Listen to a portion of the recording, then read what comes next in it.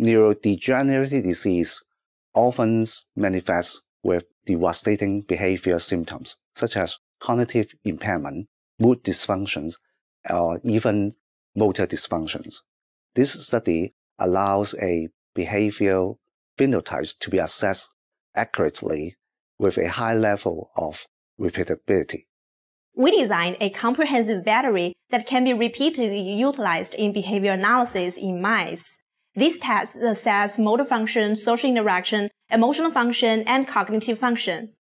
By optimizing the order and the interval of tests in this battery, we increased the testing efficiency and decreased the interference among tests and the stress on mice from frequent handling.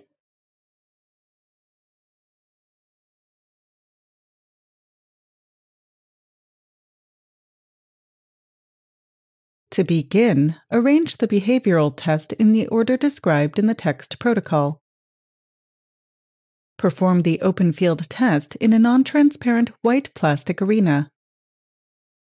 Start the camera recording and gently put the mouse next to the middle of a wall of the arena facing the wall.